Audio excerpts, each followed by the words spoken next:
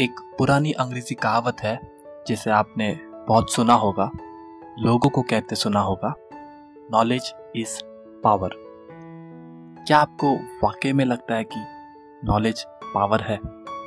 हमें नीचे comment section में बताइए, लेकिन हम आज इस कहावत को करेक्ट करना चाहेंगे इस वीडियो के ज़रिए।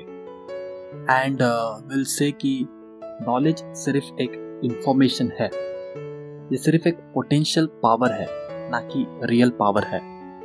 और ये पावर तभी बनती है जब उसके ऊपर हम काम करते हैं।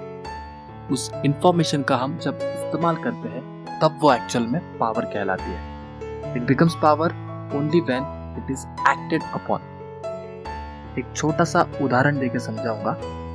दो इंसान है, एक का नाम सुनील है, दूसरे का नाम अनिल है। सुनील को पढ़ना लिखना नहीं आता। और अनिल वो इंसान है जिसे पढ़ना लिखना आता है, लेकिन वो अपने पढ़ाई का बिल्कुल भी इस्तेमाल नहीं करता। अब आप लोग बताइए कि दोनों में, अनिल और सुनील में क्या अंतर है? कोई अंतर नहीं है। लर्न करना या फिर सीखना, ये खाना खाने के बराबर है। आप कितना खाते हो, ये मैटर बिल्कुल नहीं करता। क्या मैटर करता है? आप कितना बचाते हो? डाइजेस्ट कर पाते हो।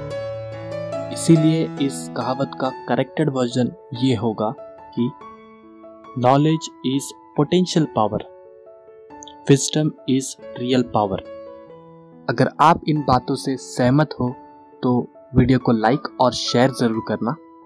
मिलते हैं किसी अगले वीडियो में।